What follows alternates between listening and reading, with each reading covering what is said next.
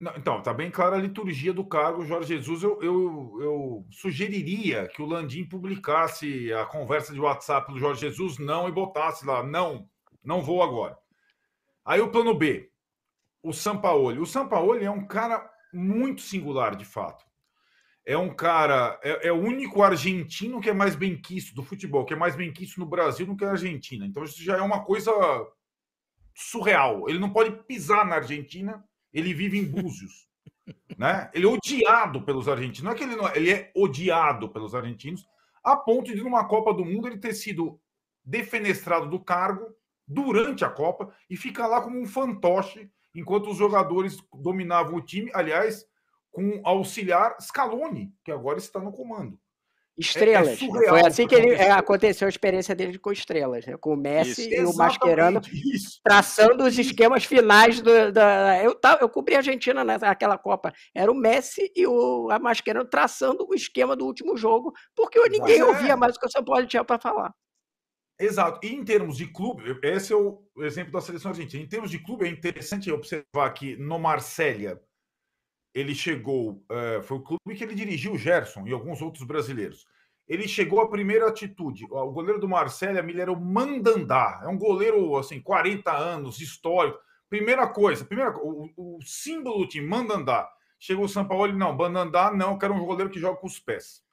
Aquela coisa. No, e aí sai o Mandandá, entra um goleiro que joga com os pés. Ai, tem uns exemplos aqui no Brasil que eu falo também, mas tudo bem. Hum. Vai lá, coloca. Mas ao mesmo tempo, ele, para não romper completo, ele compôs com o Paier, que é o outro jogador símbolo do time, chuquinha no cabelo, camisa 10, mão na cintura, tipo um Gabigol francês, né? Compôs com ele. Até que o Marcelo fez algumas coisas e ele conseguiu, até o Gerson jogou em diversas funções, mas daí ele não resiste acaba a temporada, ele tem que brigar. Se ele não brigou com o elenco, ele briga com a torcida ou com a diretoria. Brigou com a diretoria porque queria um investimento maior, saiu. Estava recentemente no Sevilha. O Sevilha vai jogar depois de amanhã, quinta-feira, contra o Manchester United, na eliminatória da Europa League. Foi classificado, eliminou o Jesus na Europa League. Eliminou o Fenerbahçe do Jesus. O Sampaoli eliminou o Fenerbahçe do Jesus e classificou para as quartas de final da Europa League. Os caras não aguentavam mais o, o Sampaoli lá. A campanha no espanhol era ruim. Não, não vão, não, não ninguém aguenta. Tchau, São Paulo. Chutaram o Sampaoli do Sevilha. No meio da temporada, ainda pode disputar umas quartas de final num torneio onde o Sevilha domina, né, Julinho? O Sevilha é. domina a Europa League. Chutaram o São Paulo. Então, Bem raro o Sevilha fazer isso, hein? Bem raro. É. Agora, no Brasil, ele tem capítulos inusitados.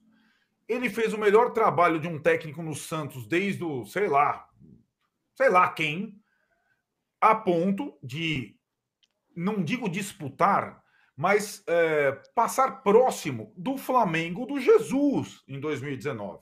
Foi uma campanha maravilhosa com o Santos, pontuação linda. Os, ele é adorado pelos caras lá da vila, né, Milho? Os caras, os meninos que ficavam nas árvores, aquela coisa toda, aquelas cinco. Dominou o Santos, foi para o Atlético. Ele já pediu bem mais. Levou... Posso fazer um parênteses antes do Galo? Faça. Só um parênteses rápido. Vai. Eu fui para Santos uma um fim de semana aleatório, na época que o São Paulo era técnico do Santos. Eu tava lá na padaria comprando pãozinho ali e tal, para levar para molecada. E aí aparece o São Paulo na padaria ali. E muito legal como foi a, a, a sinergia, a normalidade daquilo. Ele era um cara que estava realmente em casa, ele entrou, um ou outro falou boa, Jorge, tal, não sei o quê. Ele, mas ele não é uma simpatia. É, era uma coisa certo. normal, mas ele. Ok. Era uma, era uma cena que era para ser uma cena fofura. E, e, e, não foi exatamente uma cena fofura, porque ele, ele não consegue ser fofura. E só uma coisa: ele, aquele Santos do, do São Paulo, ele ganha de 4 a 0 do Flamengo, né? Quando o Flamengo já era campeão. A última rodada. Isso mesmo. É. A, aquela, aquele vexame do Flamengo não tem problema pro Jorge Jesus, né? Mas os últimos jogos do Dorival tem. Enfim, Exato. feito o parênteses, isso, volta é, para o é, Arnaldo. Isso. É. Bom, mas enfim, aí ele vai. Ah, no Santos ele leva o goleiro que joga com os pés, sempre tem o goleiro que joga com os pés, Mili. Ele joga o Everson, aí leva para o Atlético também o goleiro que joga com os pés, o Everson, que está lá até hoje. E aí no Atlético ele não vai. Ele não vai mal, mas ele não atinge o que se esperava. Né? Ele faz um brasileiro ok, vai para Libertadores e tal, mas não briga Dava para ser campeão até, né? Dava para ser campeão, campeonato todo mundo, né? É, curiosamente, o Cuca sucede o, o São Paulo no Santos, vai para a final da Libertadores, sucede o São Paulo no Galo e ganha tudo em 2021, sei lá o quê. E além disso, além de, bo, do bons trabalhos no Santos e no Galo, como disse o Rodrigo, ele tinha já pré-contrato com o Flamengo e quase foi contratado pelo Palmeiras. Aquela coisa que ele ficou pedindo mais, mais, mais não foi no Palmeiras desistiu. porque começou, não, agora eu quero não sei o quê, não, agora eu quero não sei o quê, agora eu quero Isso. não sei o quê. E aí o Palmeiras falou, então, então ele é maluco, mais. ele é o elefante na loja de elefante, na loja de louço, como disse a Mili, ele custa caro para dedéu, ele, ele vai cobrar multa cara, vai pedir reforço toda hora. E assim, é, se tem alguma possibilidade de dar certo, a gente pode lembrar dos exemplos aqui locais, porque os fora os exemplos brasileiros, de fato, ele não tem. E ele é um cara que não ganha título, cara. O Diniz daqui a pouco tá ganhando mais título do que ele. Então vamos ver como é que faz é, é, essa equação o Flamengo, porque de fato é muita ponta desatada para você cravar num técnico. Esse talvez é, fosse uma das maiores apostas. O Arnaldo, tem uma, que...